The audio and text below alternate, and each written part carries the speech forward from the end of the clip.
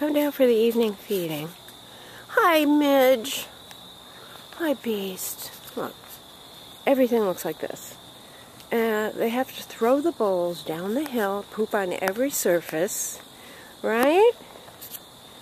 And then they don't even go. Uh-huh. Scram. All of you guys, just take off and don't come back. I love this thing. I wish it was permanent, though. Look at that guy. He's still sitting there. Go, go, go, and go. Thank you. And you. Go, go, go, and go. Go! Thank you. And you also. I see you. Take off. Do it. Take off or come and clean it up. Two choices. Thank you. Shucks. Why? Why here? They have this whole area all around here.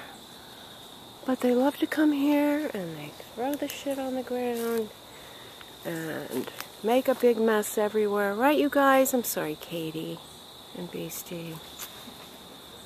It's so frustrating.